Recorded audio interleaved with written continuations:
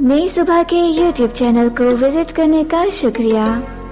मजीद मालूमती मवाद के लिए सब्सक्राइब कीजिए हमारा YouTube चैनल या विज़िट कीजिए हमारी website www.naisubha.org n a i s u b a h dot o r g.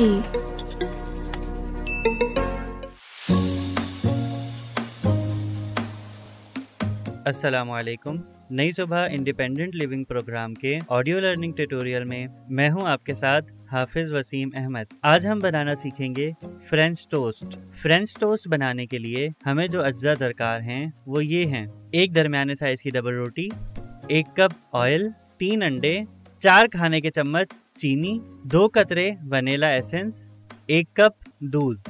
तरकीब।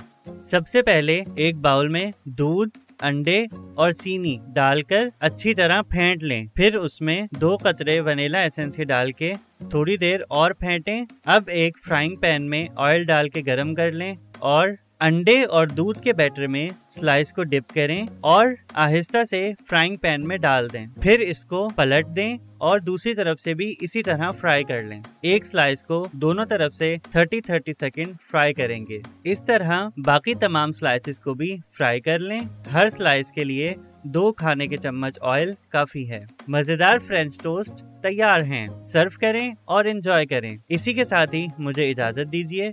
अगली रेसिपी में आपसे मुलाकात होगी। तब तक के लिए अल्लाह हाफिज। ये मालूमती मवाद नई सुबह की जानब से पेश किया गया। अपनी आरा के इजहार के लिए कमेंट कीजिए या डिस्क्रिप्शन में दिए गए रबते के जराये इस्तेमाल कीजिए।